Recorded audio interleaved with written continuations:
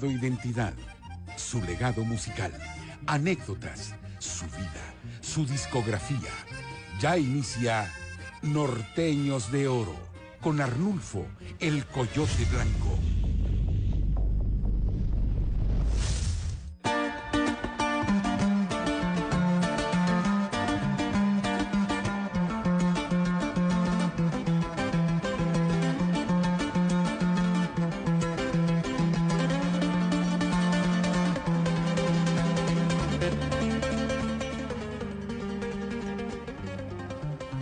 ¿Qué tal, qué tal amigos? Tu amigo de siempre, Arnulfo el Coyote Blanco Jr.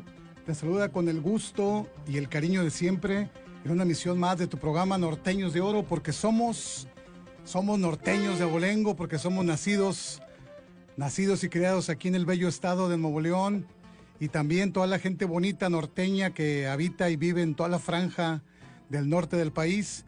Estamos aquí complaciéndolos con lo mejor de la música, con lo más selecto, y el día de hoy tenemos pues cada martes nos damos a la tarea eh, de invitar a grandes, a grandes figuras de la música norteña y el día de hoy nos tocó invitar a la presencia estelar del señor Juan, Juan Torres de Tremendos, Tremendos Gavilanes, acompañada, claro está, del señor César Guerrero en el Bajo Sexto.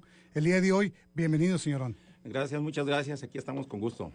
Ahora, nos trajimos todo noche. Muchas gracias. No, vinimos ahora, aquí está en la, aquí está en la primera voz el señor Juan, en- Juan Torres aquí. Bienvenido, señorón. ¿Cómo está usted? Buenas tardes. Buenas tardes. Acá estoy.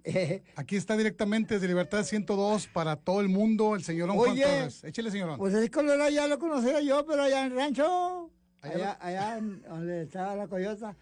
Seguida, ¿verdad? La coyotera. Sí. Estaba por el Elizondo en aquellos años. Ah, sí, cómo no. Ándale. En aquellos años en la cantina Jardín Cruz Blanca, allá en Avenida Colón. ¿Cómo se llamaba? ¿Cómo se la llamaba Jardín Cruz Blanca en, Co- en Colón y Colegio Civil, en la mera esquina. Ándale. Ahí estaba la cantina del Coyote Blanco y de Pablo Elizondo. Pues yo ni me acuerdo ya. Pero usted ahí andaba, usted ahí hasta hacía farafara y sí, todo. andaba allí, pero no, no. Eh, Todo lo que escribí se me olvidó. ¿Cómo, Hasta cómo? las polcas que, que compuse yo. se me olvidaron, las rancheras, corridos, todos, se me olvidó. ¿Cómo se encuentra el día de hoy el señor Juan Torres? ¿Cómo se encuentra? ¿Cómo lo trata la vida? Esta gran agrupación, lo hemos visto en muchos eventos. ¿Cómo se encuentra el día de hoy el señorón? Pues nomás un poco, un poquito enfermo, pero con ganas, como quiera. Las ganas se me quitan las ganas de tocar. La verdad estamos eh, bien contentos y estamos bien gustosos de tener la presencia estelar de usted el día de hoy, porque nos lo había pedido toda la gente que es fanática de Tremendos Gavilanes y de la música bonita norteña. Y estamos hoy de manteles largos, transmitiendo también desde Libertad 102.1 en Facebook también y sobre todo en la página Norteños de Oro y Paulineando para que compartan esta entrevista y este musical que tenemos a continuación por parte de esta gran agrupación que desde 1962 los tremendos gavilanes, este dúo formado en aquellos años por el gran Salomón Prado y don Juan Torres aquí presente. ya se fueron por el rancho. Se fueron para el rancho ya mucho, dice don, Juan. ¿te acuerdas de Cornelio Reina? Sí, cómo no. También se fue por el rancho. Se fue para el rancho, sí, cómo no, no grandes estrellas de la música, pero por eso tenemos estos programas. Así les digo yo. para recordarlos y que toda la gente en las nuevas generaciones que siga presente esta música bonita. Sí, claro. Vamos a empezar con algo, si le parece, señorón, algo padre de la música norteña. Claro que sí. Gavilanes. ¿Cómo no? Vamos a, a- a cantarles una canción que viene siendo el, el símbolo de los, de los tremendos gavilanes. Se llama La Chiva Colgada. Hoy nomás. Un gran éxito de los tremendos gavilanes. Somos norteños de oro. Ahí va, en fa. La Chiva Colgada, sí, claro. ¡Allá!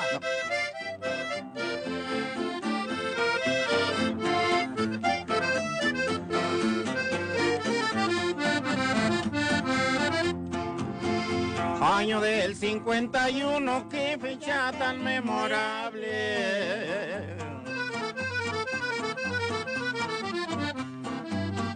25 de noviembre, un domingo por la tarde, murió Roberto Martínez, lo mató Jesús González.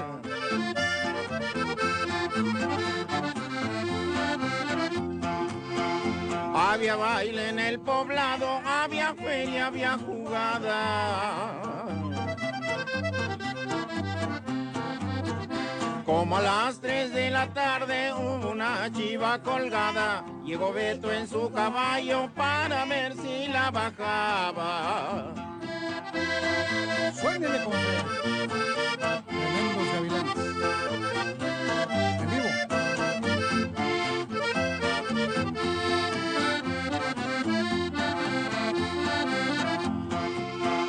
Llegó Beto en su caballo con mucho gusto y placer.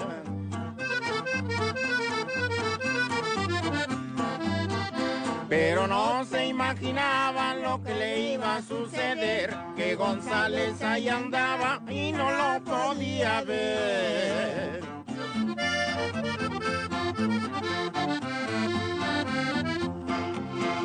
Empezaron a brincar sin que la chiva bajara.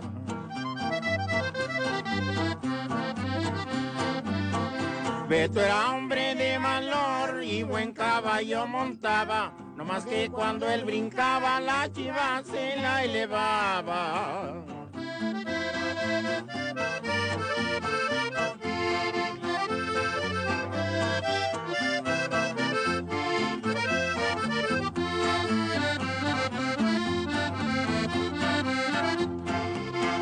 González bajo el cabresto y se la lleva un amigo.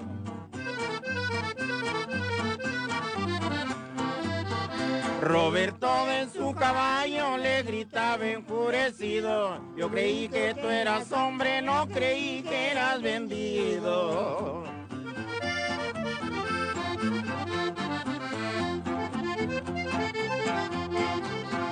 Beto dejó su caballo y a la cantina volvió.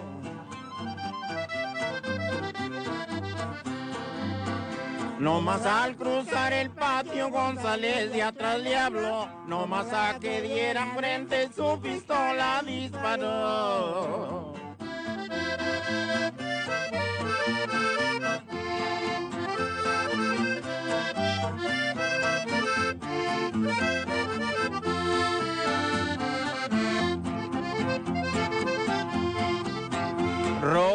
Cayó para atrás que su sangre se batía. Y González asustado no halló dónde se metía, amagando a los presentes suyo de la policía.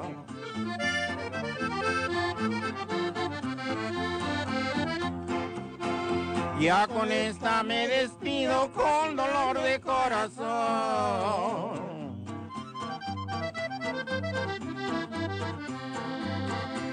Dispense lo mal trovado, mil gracias por su atención. Esta sangrienta tragedia pasó en Mari Nuevo León. Qué bárbaros, barbaritos, tremendo tema de la música norteña en vivo y a todo color para todos nuestros radioescuchas. La gente bonita de la música norteña, la música bonita que no va a morir nunca porque nosotros como pequeños promotores de la música estamos aquí para recordarles a estas grandes figuras, grandes estrellas de la música norteña.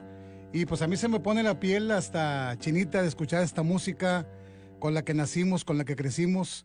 Este tremendo tema de los tremendos gavilanes la chiva colgada. La chiva colgada, sí. Allá de Marín. Es el himno de los tremendos gavilanes, exactamente. ¿Cuántos años, señor César Guerrero, con, ya con don Juan? Pues uh, más o menos unos 20 años. Eh, este él siempre fue mi ídolo. Yo nunca imaginé que iba a andar con él. Me gustaba su estilo, lo seguía donde andaba, desde que andaba con Salomón, obviamente. Claro. Y luego después con más agrupaciones, ¿verdad? Porque anduvo pues, obviamente con varios. Claro. Pero yo siempre fue mi ídolo y su estilo me gusta mucho.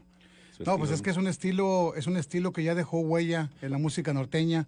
y es por eso que lo tenemos aquí frente a frente al señorón, don Juan Torres. Voy a platicar un poquito de Tremendos Gavilanes, si me lo permiten, para toda nuestra audiencia. Los Tremendos Gavilanes, el dúo de Salomón Prado y Juan Torres, fue fundado en 1962, a los albores de la época moderna de la música norteña. En la década de 1960 y 1970 lograron una gran popularidad enorme para todos los lados de la frontera.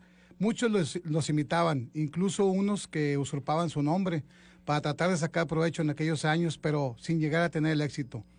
Ninguno pudo duplicar la magia de estos dos músicos, únicamente compatibles con sus voces, armónicas, vocales tan llamativas y sobre todo la presencia estelar también de don Juan, que siempre imprimió un estilo único en el acordeón cuando estaba en el escenario. Oye, este, ¿no ha venido por ahí los demás compañeros? Aquí, aquí, han venido, le voy a decir quién ha venido aquí, señorón. Aquí ha venido Eliseo Robles, ah, ha venido eh, Poncho Villagómez, ha venido Caterino Leos. Sí, les conozco.